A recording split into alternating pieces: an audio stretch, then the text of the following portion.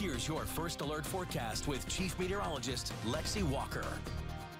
532 is the current time. Good morning and happy Thursday. Starting with that Comanche Nation Entertainment Tower Cam in Medicine Park Aquarium. It is dark as can be. Skies, they are clear. Temperatures for the most part are into the 60s, though some of us have dropped into the upper 50s on this Thursday morning. But it's definitely going to be feeling like uh, summertime on this early fall day as high temperatures are going to be running us about 10 to 15 degrees above average. Average to date is 82 degrees. 96 is what I'm going with for that Lawton Fort Sill forecast. Plus, with the sunshine, we'll be seeing those south winds sustained at about 5 to 15 miles per hour. Sunset this evening is at 714. And climatologically, as I mentioned, 82 is where we should be for that average daytime high. Our average morning low is 56 right now. And yes, it's possible that some locations could reach that 100 degree mark. In terms of breaking records, not necessarily expecting us to be that hot this afternoon, but either way, however you slice and dice it, hot is still hot. So far in the year of 2024, we've picked up some pretty decent 90 degree days where those temperatures have been sitting at or exactly above